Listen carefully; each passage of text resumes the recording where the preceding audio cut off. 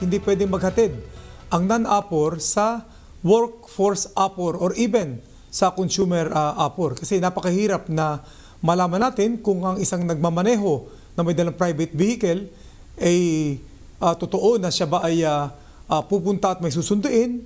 This was the Philippine National Police's warning to non-APORs on Wednesday. But in less than 24 hours, they're backtracking on their statement. Non-APORs will now be allowed to pick up and drop off essential workers during the lockdown. They have to present a copy of the APOR Certificate of Employment. It should indicate the driver's name, the makeup and plate of the vehicle, the contact number of the APOR's employer.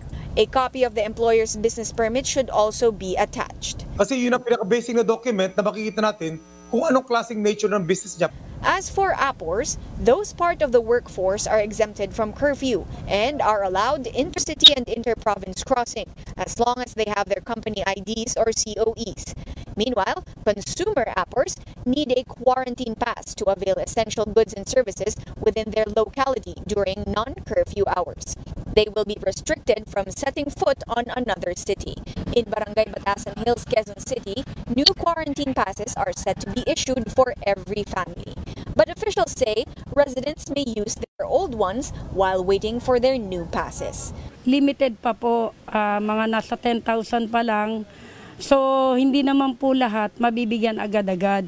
Rosaline already lost her old quarantine pass. She now wonders how she will put food on their table for the next two weeks. So paano kami makakalabas? Pero kung ever man na hindi kami makakalabas dahil walang quarantine pass, i obligado na yon ng barangay kung paano kami bibigyan ng aming makakain. Alangan naman na hayaan nila kaming magutom. Those up for vaccination will also qualify as an APOR. Police will also give humanitarian consideration to those with medical and family emergencies.